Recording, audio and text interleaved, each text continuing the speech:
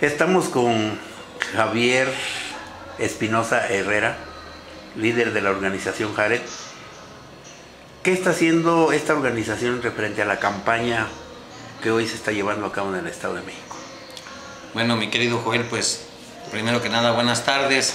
Mira, la organización Javier Espinosa es una organización que se crea precisamente para eso, ¿no? Para los sistemas políticos, los quehaceres políticos que tanto nos han gustado durante mucho tiempo. Y bueno, pues una de las situaciones ahí es apoyar la campaña de Delfina Gómez, ¿no? A la gobernatura. Yo creo que vamos muy bien, este, estamos haciendo una estructura muy fuerte, sólida, eh, buscando de alguna manera los caminos para rumbo al 2018 también, ¿no? Obviamente tenemos que pasar primero este proceso. Y pues yo creo que bien, bien, todo bien, eso es lo que está haciendo a grandes rasgos esta organización, el apoyo a Morena con todo. En cuanto a los militantes de esta organización y simpatizantes, lógico, ellos están con mucha convicción en Morena, trabajando ahorita precisamente para la campaña? No, sí, mira, de hecho la gente pues prendida, ¿no?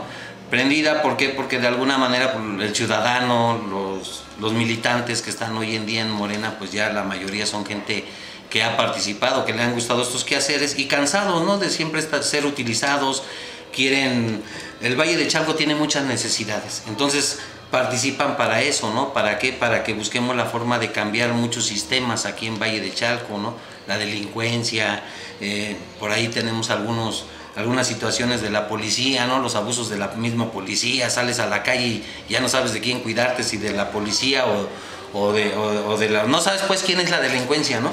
Entonces yo creo que a final de cuentas es lo que nos impulsa a entrarle con todo este proyecto pues esperando un, cambio, ¿no? Esa esperanza, como se dice, la esperanza de México, ¿no? Ahora, la organización Jared siempre, pues ahorita viene luchando por apoyar a los ciudadanos, por brindarles en la medida de sus posibilidades algunos apoyos.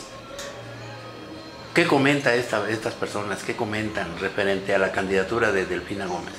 Pues te vuelvo a comentar, muy contentos, ¿no? Y, en realidad es meramente una esperanza, están creyendo en el proyecto. Eh, sí, muchos se acercan, que oye el apoyo y situaciones así, no somos gobierno aún, eh, bueno, dentro de lo que cabe, lo poco que podemos o mucho que podemos hacer, lo hacemos, lo hacemos con gusto para la gente más vulnerable, más necesitada, ¿no? Pero también, bueno, eh, sabemos que es una lucha para conseguirlo, ¿no? Un poco más adelante. ¿Cuál sería el mensaje de, de Javier Espinosa Herrera? Hacia los vallechalquenses en este momento en que la gente tiene esperanza de que haya un cambio en el Estado de México. Bueno, pues que en realidad eh, mi mensaje para la ciudadanía vallechalquense sería decirles que hoy es nuestra oportunidad, que hoy podemos hacer ese cambio, que no lo podemos, no lo puedo hacer yo solo, ni dos o tres o diez, lo tenemos que hacer entre todos los vallechalquenses por beneficio no trabajar para un futuro, sino trabajar desde ahorita al presente, ¿no? Para nuestros hijos y para nosotros mismos.